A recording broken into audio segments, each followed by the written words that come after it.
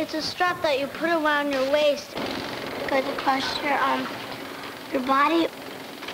Has a bu- buckle, and they help you if you're in real bad crash and you can't get hurt.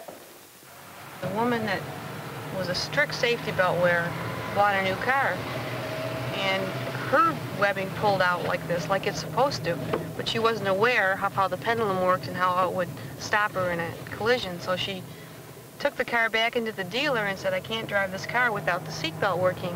When she got it back, it was the same way. Well, this happened three times.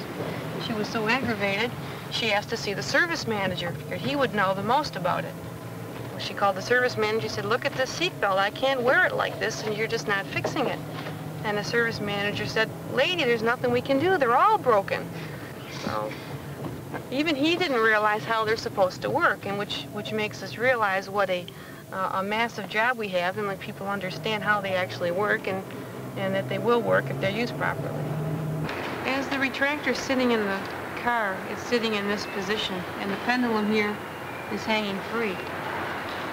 And as you see the belt, it just pulls out freely. So when you go to put it on, it pulls out. When you go to move, it pulls out. But should you come to a sudden stop, the inertia will move this pendulum, which will lack this belt and hold you in the seat. A seatbelt is when you put it on and it would save more life. Which which do you think is better, getting killed or getting a little stomach ache? I think getting a stomach ache is worse and is better because if you die, then you say goodbye-bye to your life. Well, actually, the belt, the way it comes across your torso, it comes across the areas that are the strongest and the best equipped to take those loads. They can take those loads much better than your skull or your face or other parts of you that aren't going to be restrained can. You distribute those across your torso, which would be the strongest part of your body, then you have the best chance of surviving. You had to stop really quick. Yeah. What would happen if I didn't have one on, though, if I stopped real quick? Fly through the window. Mm. Windshield. Yeah. Windshield? And, and you might hit the traffic light. What, flying through the windshield? Might. Well, when the car is involved in an accident, the first collision obviously is whatever hits another car or barrier, or, but once that happens, things inside the vehicle start to move and they're also going to collide, be it the uh, passengers with each other or with other parts of the car. If you have your safety belt on, you reduce the chances of these second collisions. Let's say the light is red, they um, drive, they stop short. The, the um, child, if it doesn't have a seatbelt on, they'll go flying out the window and they'll get ran over by another car. Ah, would that just happen to children, or do you think that would happen to adults? Adults, too. Most people are injured in accidents because they don't stay in the vehicle. They don't stay in their space. If you have your safety belt on, then you will stay in your space.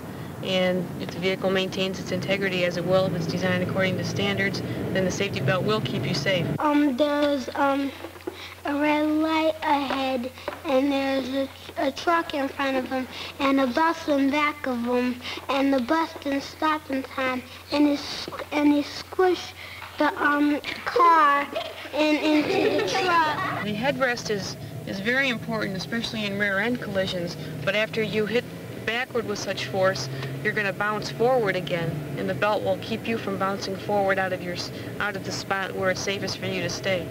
It's also safer for the passengers in the front seat, for the for the rear seat passengers to have their seat belts on, because in the event of a collision, the weight of, the, of a body in the back seat coming forward can come with such force that it can injure someone in the front seat even when they do have their belt on. So it's important for all passengers to wear their belt, including rear seat passengers. We've heard a lot about airbags. Are they going to eliminate the need for safety belts? No, they certainly won't. Airbags are only effective in half of the, the crashes that take place. They're not effective in rear-end collisions or side collisions. They don't really hold the occupant in, its, in, in his seat. You still need the, the lap belt. Actually, airbags only replace the shoulder belt. You still need the, the, the lap portion of the safety belt with them.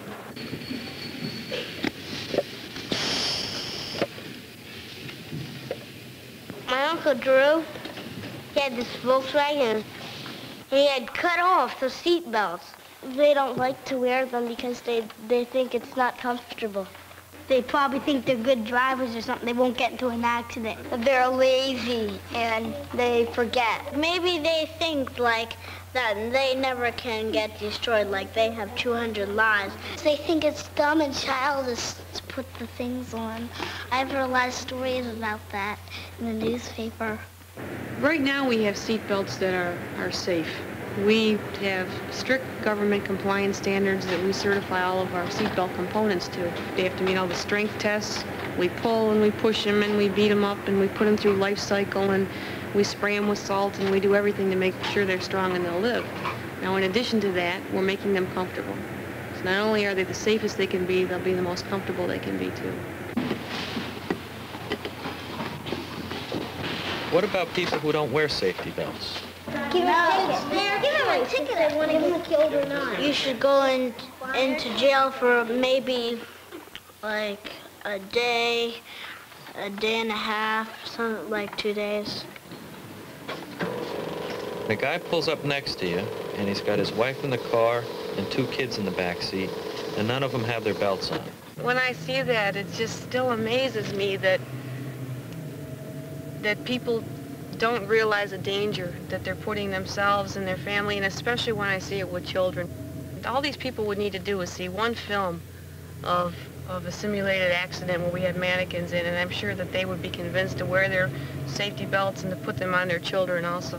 The people who make the card didn't put the um, seatbelts in there for nothing. They put them in there so you could wear them and be safe.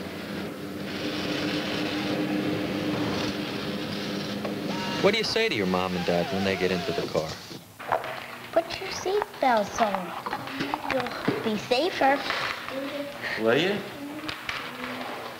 How much safer? A lot. Please fasten your seatbelts. Please fasten your seatbelts. Thank you.